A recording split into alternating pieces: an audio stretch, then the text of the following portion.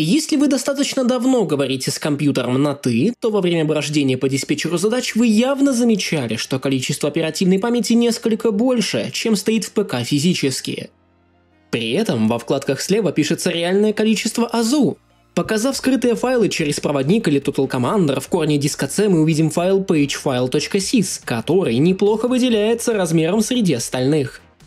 Да и явно у вас были моменты, когда некоторые приложения из-за нехватки памяти внезапно завершали работу, но при этом физическая память была доступна. Для чего этот файл вообще необходим? В чем его соль и смысл? Какова его критичность? В этом видео мы разберемся, что такое файл подкачки, как это работает, нужен ли он, и также проведем некоторые эксперименты. Сейчас же можно порассуждать об официальных системных требованиях Windows, считая такое важным, как наличие молока в холодильнике. За 40 лет существования операционки компьютеры стали намного мощнее и могучее. Этого отрицать нельзя. И многим может казаться, что компания временами выставляет системные требования очень абсурдными. Однако, честно сказать, не вижу чего-то странного, хотя за количество свободного места в официальных требованиях Windows 11 я бы придрался. Какого Хуанхэ 64 гигабайта? За что, если операционка работает адекватно на 15? В эпоху первых версий Windows главным атрибутом для ее работы был MS-DOS, или же DOS-совместимая система, хотя с выпуском Windows 3.1 появился очень интересный случай. Во время разработки Windows 3.1 установщик и Wincom содержал фрагмент кода, который препятствовал запуску и установке Windows на компьютерах с отличной от MS-DOS системой, например, DiarDOS. В дальнейшем этот код назвали AARD в честь программиста Аарона Р. Рейнольдса, который написал эту функцию. Она использовала незадокументированные вызовы MS-DOS для определения работы Windows 3.1 не из-под DOS, с выпуском Windows 95 и внезапным объединением DOS и Windows в один целый продукт, владелец DRDOS, Caldera Incorporated, решила добиться справедливости, подав иск на Microsoft. Иск был не один, было пять претензий, среди которых был запрос пояснить за тот самый ААРД. Судебный процесс длился до 2000 года, и как итог Microsoft заплатила Caldera 280 миллионов долларов. К слову, Windows 95 официально просила только 8 мегабайт АЗУ, Windows 98 уже требовала 24, а Windows 2000 и XP заявляли о 64 и 128 мегабайтах соответственно.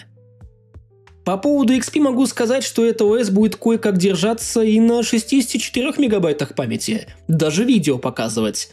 И это все благодаря тому самому файлу подкачки.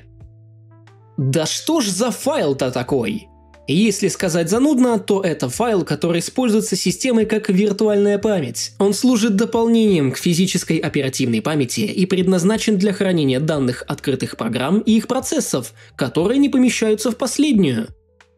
Если простыми словами, это тебе поможет открыть больше программ и, так сказать, не разочароваться, если у тебя внезапно закончится свободная оперативка. Файл подкачки или же своп – это не новинка NT-систем. Действительно, первые версии винды полагались сугубо на реальную оперативную память и MS-DOS с хаймем.sys.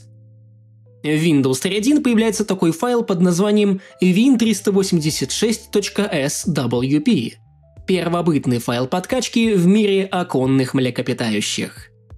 Уже тогда трешка в разделе о программе суммировала количество реальной АЗУ и размер подкачки – Windows 9X здесь уже чутка лучше. Мало того, что здесь уже появляется VMM32 и vCache, так еще и файл подкачки будет использоваться только в тех случаях, когда физическая АЗУ на исходе, и приложению это действительно необходимо, а не сразу марать его данными, как это было в Windows 3.1.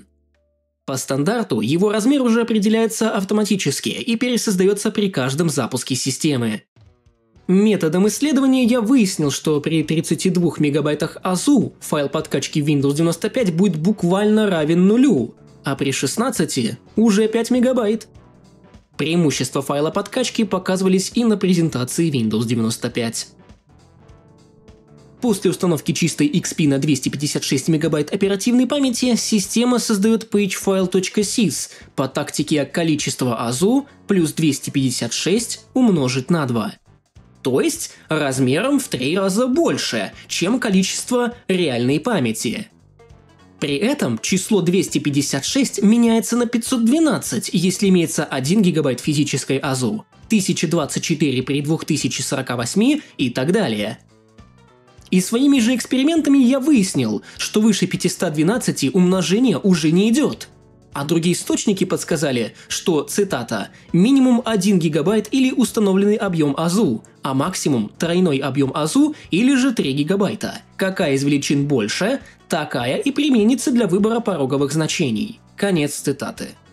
Начиная с Windows Vista, принцип работы свопа был чутка изменен. Появляется служба Superfetch, в разы улучшающая префетч из XP, если в XP кэшировались данные памяти от часто запускаемых программ для ускорения их последующего открытия, то свисты, анализируя поведение приложений и приоритет их использования, все данные уже заранее будут вложены в оперативку.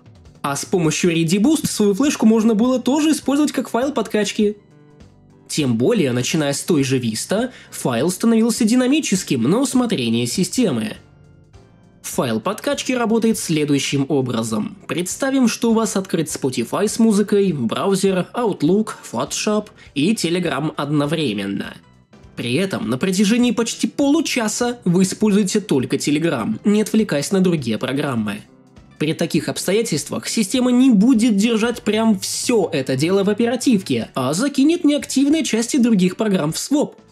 И если ты вернешься к тому же фотошопу, то через несколько секунд система вернет весь этот фотошоп в ОЗУ. Такой простой механизм называется paging ом. Память делится на страницы, коих будет миллионы, а ненужные из них на данный момент выгружаются или наоборот Современные версии Windows обращаются к свопу уже намного реже. Появилось множество других методов работы с памятью внутри ОС. Вошли в обиход SSD и NVMe, однако не спешите отключать файл подкачки, он все еще необходим. Позже скажу почему. А теперь настало время экспериментов на практике. Сейчас я хочу рассмотреть, как будет вести себя система при случае, когда своп в один момент окажется поврежденным. Сможет ли как-то операционка выстоять при таком положении? Да и не только это, здесь будет показано три системы. Windows 3.1, XP и 11. Начнем с 3.1. Как нам известно, Windows API не позволяет редактировать файл, который на данный момент востребован другим процессом, и такое очень проблематично, ведь нам нужно как-то в него ворваться. Как нам поступить в такой ситуации? Для этого на помощь нам приходит Linux. Наша подопытная ОС сейчас установлена на DOSBox X, и в Linux мы можем вносить изменения в файл, даже если он используется прямо сейчас. Мы написали мелкий скрипт с циклом для облегчения своей задачи, который будет вызывать DD и записывать все из def в этот файл до нашего лимита 8 мегабайт. Мы пока умнее компьютера, ведь память у него не 16 мегабайт. Представим, что мы работник бюджетной студии, которому поручили монтаж. Но переменно этому делу он, блин, играет в косыночку и лазит в интернетах. Начинаем грязевую запись. Пока что все нормально, система выполняет наши запросы и открывает новые программы. Но в один прекрасный момент кто-то допускает ошибку мы получаем неправильное обращение к странице памяти аж из глубин ядра. Операционка зависает, и мы вылетаем в DOS. Окей, вторая попытка. Здесь уже все куда интереснее. Такая же запись, такие же условия, однако при попытке сменить тему оформления мы внезапно получаем ошибку от Netscape, которая в свою очередь пришла от видеодрайвера. При этом драйвер до сих пор отрисовывает нам интерфейс. Система начинает буквально сыпаться, вылетает из файла подкачки один за другим. И панель управления не работает, жалуясь на ошибку со стороны ядра. В конечном итоге, при запуске файлового менеджера и при опросе дисков, ОС допускает оплошность и наступает конец света. Следующее, что можно показать, это важность файла подкачки как элемент производительности. На примере XP можно взять 64 мегабайта АЗУ, оставить включенной эту фичу и запуститься. Знаете, тут все очень даже бодро. Я могу и смотреть видео, и работать с презентацией, и сидеть в интернете, и общаться в мессенджере почти одновременно. С микрофризами, но сам факт, оно ворочается. Это заслуга не только пейдж-файла, но и технологии Prefetch. А если это все отключить, будет ли XP работать так же прекрасно, как раньше? Спустись с небес на землю, очевидно, что нет – Вместо экрана приветствия нас встречает классический вход и ошибка о том, что наша виртуальная память заканчивается. Спасибо, она и так равна нулю. Хотя в книге «Внутреннее устройство Windows» седьмого издания сказано следующее. Цитата. Собственно, даже если страничного файла не будет, Windows все равно будет использовать виртуальную память. Конец цитаты. После входа а не будет тут входа. Нам скажут, не удалось совершить вход по причине... А тут даже причины нету, у нас буквы закончились. Дальше окна входа сейчас пройти не получится. Вот со второй попытки уже получается зайти в систему, но Explorer XZ выдает ошибку 0xc40142. Диспетчер задач тут практически полностью беспомощен и часто вылетает показывает 0 килобайт занятой памяти и две вкладки вместо 5. Другие программы выдают такую же ошибку. Windows 11 спокойно запускается и на одном гигабайте АЗУ, хотя встроенный защитник Windows в фоне портит всю малину, и процессор сильно напрягается. Соответственно, OS просто подтормаживает. На двух гигабайтах ситуация уже лучше, и UVP адекватно ворочается, да и в целом все уже как-то легче. Я считаю, что для минимальной и адекватной работы Windows 11 нужно 2 гигабайта АЗУ, что в два раза ниже ее официальных требований.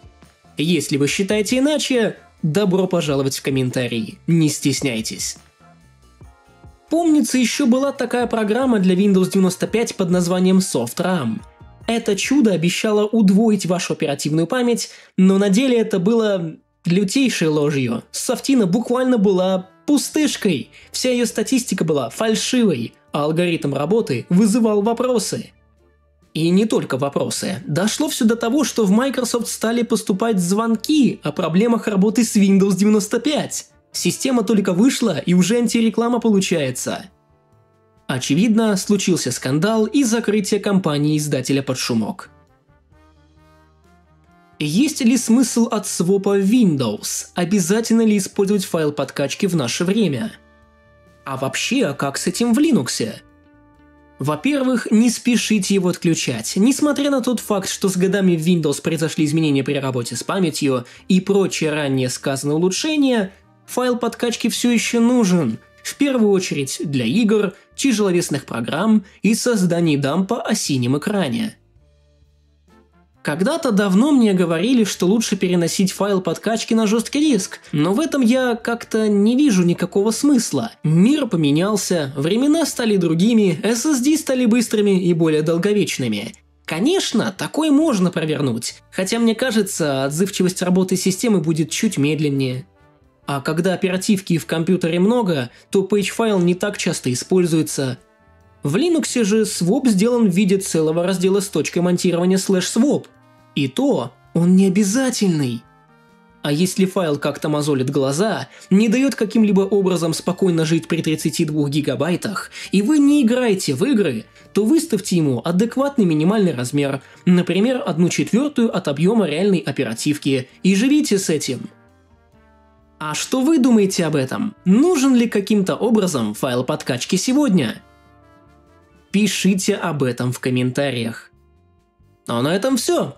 Ставьте лайк, делитесь этим роликом с друзьями и подписывайтесь на канал. Не пропускайте новый интересный контент. И таким образом можно поддержать автора. Да и вы можете поддержать творчество финансово. Все способы в описании. Конечно, необычный ролик получился. Очень бодро, мне даже зашло. До новых встреч. И пойду ужин себе сделаю, что ли.